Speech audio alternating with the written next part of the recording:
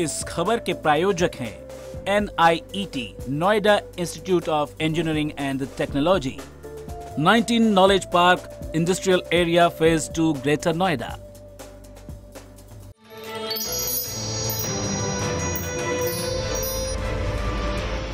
नमस्कार, आप देख रहे हैं न्यूज़ फ़र्स्ट और मैं हूँ आनंद प्रकाश सिंह। मुरादाबाद के बिलारी से सपा के एमएलए इरफान अली की कार एक्सीडेंट में मौत हो गया। अली शिवपाल सिंह के बेटे की शादी में शरीक होने सैफई जा रहे थे। बदायूं के कचला घाट में एसपी के एमएलए इरफान अली की कार एक्सीडेंट में मौत हो गई। हादसे में पार्टी के पूर्व general secretary KP Yadav, gunner और कार ड्राइवर की भी मौत हो चुकी है। एमएलए के बेटे को दिल्ली रेफर किया गया। चश्मीदों ने कहा कि कार रफ्तार से आ रही थी, इसलिए एक्सीडेंट हो गया। इरफान अली की मौत पर सीएम अखिलेश यादव व मुलायम सिंह यादव ने गहरा दुख प्रकट किया है। मुरादाबाद से बिलारी कॉन्स्टिट्यूएंसी के विधायक श्री हाजी इरफान जी की गाड़ी जो है बदायूं जनपद में टायर पंचर हो जाने के कारण जो है अनियंत्रित हो गई जिस और दुर्घटनाग्रस्त हो गई।